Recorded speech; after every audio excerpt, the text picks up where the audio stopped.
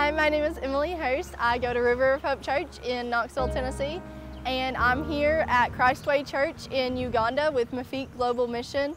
But when you trust in God and when you're doing His will, He always makes a way and He always provides. And so that's exactly what He did for all of us on this trip is He provided in ways we never thought possible. And so the money came even if we didn't think it was within our means. And now we see the benefits of it because of all these people being able to be treated for diseases.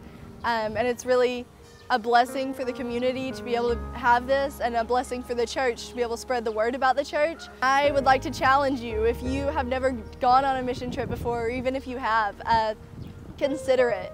If you don't think it's possible, God makes a way.